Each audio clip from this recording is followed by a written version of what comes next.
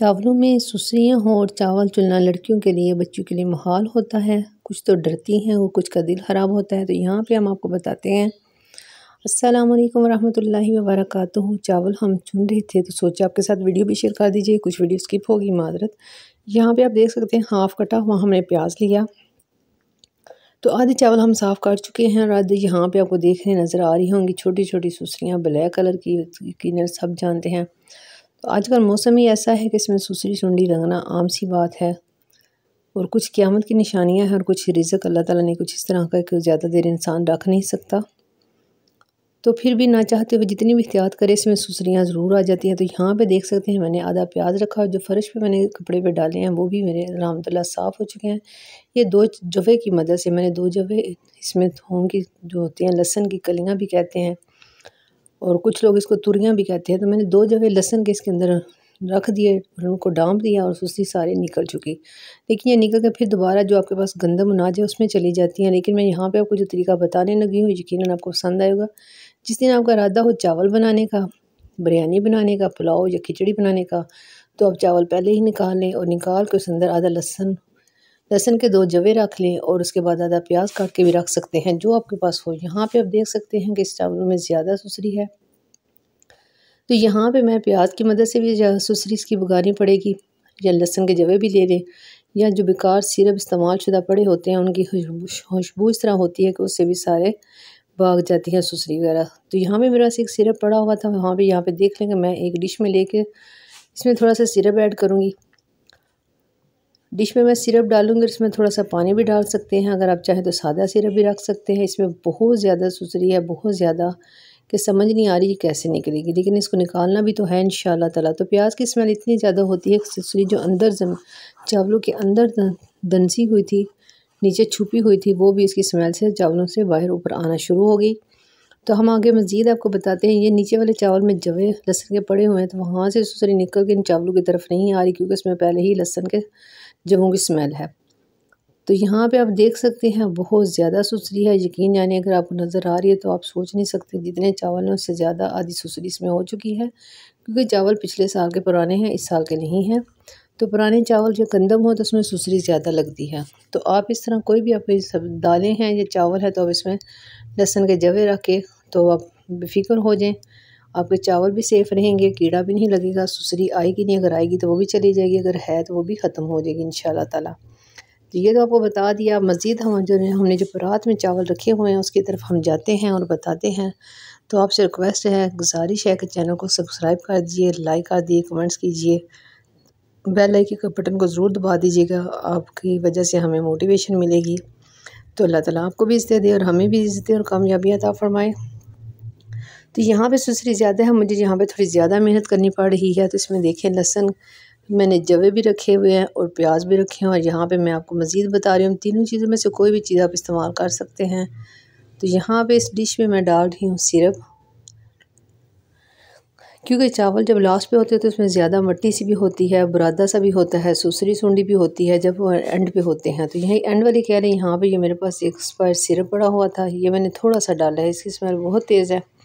آپ چاہے لہسن سے، آپ چاہے پیاز سے، آپ چاہے سرپ سے، کسی بھی سرپ آپ کے پاس جو استعمال شدہ ہے، آپ اس کے ذریعے اپنے چاول کو صاف کرتے یہاں پہ میں نے تھوڑا سا پانی اس میں ڈال دیا اور اب میں ان کو رکھ دوں گی۔ ویڈیو کو اسکپ مت کیجیے ابھی بہت کام کی چیز جو آپ کو اینڈ پہ بتانے والی ہے۔ وہ آپ کے لیے بہت فائدہ مند ہے۔ وہ آپ دیکھ کے حیران رہ جائیں گے اور بہت آسان طریقہ ہے۔ میں ساتھ ساتھ یہ بھی آپ کو چیک کروا رہی ہوں کہ اس میں سسری نام کی بالکل چیز نہیں اور اس میں بہت زیادہ دیکھیں، لیکن یہ اس سے نکل کے پر زمین کی طرف نہیں جا رہی۔ حالانکہ سسری کو پتہ ہوتا ہے کہ ناج کدھر ہے، اللہ تعالیٰ نے ان کو بھی بظاہر کھاد خوراک کے اندر رہنا ہوتا ہے تو ان کو پتہ ہوتا ہے کہ ہم نے کس سائڈ پہ جانا ہے۔ لیکن یہ گھوم کے پرات کے اندر ہی رہ رہی ہیں۔ اب آپ کو نظر آ رہے ہیں کہ کافی زیادہ سسری اس میں چل رہی ہے کہ اس وجہ سے کہ جو اس کی تہ تک بھی تھی نا، وہ بھی ساری اوپر آ چکی ہے۔ نہ تو چاول خراب ہوں گے، پکانے میں ان کا ذائقہ خراب ہوگا، نہ ان میں کوئی نمی آئے گی پیاز کی وجہ سے۔ آپ بے فکر ہو گئے، پیاز اس کے اندر رکھ سکتے ہیں۔ تو یہاں پہ میں نے سیرپ کے ساتھ بھی اوپر چاہیں تو آپ اپنے چاولوں کی سسری بگا سکتے ہیں۔ میرے خیال میں زیادہ بیسٹ آئیڈیا مجھے جو لگتا ہے وہ پیاز ہے اور اس کے علاوہ لہسن کے جوے ہیں۔ اگر وہ زیادہ استعمال کرتے تو زیادہ بہتر ہے۔ سیرپ میں بہت زیادہ ٹائم لگتا ہے، لیکن یہ تین چیزوں میں سے آپ کوئی چیز چاہیں تو استعمال کر سکتے ہیں۔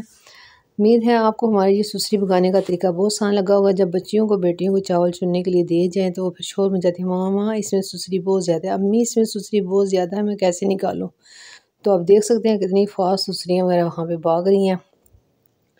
امید ہے آپ کو ہمارے یہ جگاڑ، یہ ٹپ ضرور پسند آئی ہوگی۔ تو پلیز اپنے پیاروں کے ساتھ شیئر کیجیے۔ چینل کو سبسکرائب بھی کر دیجیے، لائک بھی کر دیجیے، کمنٹس بھی کر دیجیے۔ اب یہاں پہ ہم آپ کو بتانے لگے ہیں، یہ جو چاولوں میں سسری ہے، یہ اتنی جلدی ختم نہیں ہو رہی کیونکہ ہم نے ابھی ہمیں اس کی ضرورت بھی نہیں فی الحال۔ تو ہم اس کو بھی مزید ایک اور اس کا جگاڑ ہے، وہ آپ کو بتانے لگے ہیں۔ آپ بھی ایسا کر سکتے ہیں، کیونکہ جتنے ہم نے جو بریانی بنانی ہے، اتنے چاول تو ہم صاف کر چکے ہیں، الحمدللہ۔ تو اب یہاں پہ ہم نے اس کو کیا کرنا ہے، بس آپ دیکھتے رہیے گا ویڈیو کے لاسٹ پہ ہیں ہم۔ اس کی مت کیجیے سبسکرائب ضرور کیجیے لائک کیجیے کمنٹس کیجیے آپ کا لائک کرنا سبسکرائب کرنا کمنٹس کرنا آپ کے لیے نیکی ہے اور صدقہ جاریہ ہے۔ اللہ تعالیٰ آپ کو اجر عطا فرمائے دونوں جہاں کا اس کا صلہ عطا فرمائے۔ تو یہاں پہ میں نے ڈال دیا بول میں، یہ آئس کریم والے بول اکثر ہمارے گھروں میں ہوتے ہیں۔ اگر آپ کے چاول زیادہ ہیں تو آپ زیادہ لے سکتے ہیں۔ یہاں پہ آپ دیکھ سکتے ہیں کتنی زیادہ سسری ہے، لیکن لہسن اور پیاز کی سمیل سے یہ ساری اوپر آ رہی ہے۔ لیکن اس کو میں نے یہاں سے باہر بگانا نہیں ہے، اس کا بھی انتظام کرنا ہے۔ تو انتظام مجھے کیسے کرنا ہے؟ یہاں پہ میں نے ایک پرات لے لیا اس کے اندر میں نے یہ بول رکھ دیا اور اس کے اندر میں ڈال دوں گی پانی۔ اور پانی میں یہ ساری گر کے تو باغ نہیں سکے گی اور ختم ہو جائے گی، چاول صاف ہو جائیں گے۔ کیسی لگی یہ ٹپ ضرور بتائیے گا۔ چلتے ہیں نیکسٹ کار کی طرف۔ اللہ تعالیٰ نے اگر آپ کو نعمتیں دی ہیں تو اس کا شکر ادا کرے اور اپنے ساتھ دوسروں کا ضرور خیال رکھا کرے۔ یہاں پہ اللہ کا شکر ہے، اللہ تعالیٰ ہمیں بھی جلد دینے والوں میں کہوں تیز رزق اور نعمت عطا فرمائے ہم بھی دوسروں کے کام ہیں، انشاءاللہ یہاں پہ مجھے، میری ایک بہن نے مجھے اپنے استعمال شدہ کپڑے بھیجے ہیں، ان کا بہت شکریہ، جہاں بھی رہے، خوش رہے، شاد آباد رہے۔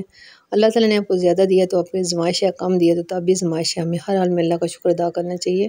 اگر آپ کے پاس کوئی ایکسٹرا چیز ہو تو آپ دوسروں کے اپنے آس پاس کی ضرور مدد کیا کریں، اس سے اللہ خوش ہوتا ہے نعمتوں میں اضافہ ہوتا ہے۔ اگر آپ کی ایڑی کی جلد بہت زیادہ خراب ہو جائے تو آپ نے کیا کرنا ہے؟ آپ دیکھ سکتے ہیں ویڈیو کے اندر۔ تو آپ نے کیا کرنا ہے، سرسوں کے تیل میں تین چمچ ہلدی اور دو چمچ ملا کر محلول بنا لیں۔ یعنی کہ سرسوں کا تیل اور ہلدی ملا کر اچھی طرح اس کو گاڑا لیپ بنا لیں اور سوتے وقت پاؤں پر لگا کر اوپر جابے پہن لیں چند دنوں میں آپ کی ایڑیاں انشاءاللہ تعالی ٹھیک ہو جائیں گی۔ جتنی زیادہ پھٹی ہوں، بے شک ان میں سے خون رس رہا ہو، لیکن اس ٹپ سے آپ کے پاؤں بہت جلد ٹھیک ہو جائیں گے، نیٹ اینڈ کلین ہو جائیں گے۔ ایسے ہو جائیں گے کہ جیسے کبھی آپ کی ایڑیاں پھٹی نہیں۔ پلیز دوسروں کو بھی بتا کر صدقہ جاریہ بنا کریں۔ چینل کو سبسکرائب کیجیے لائک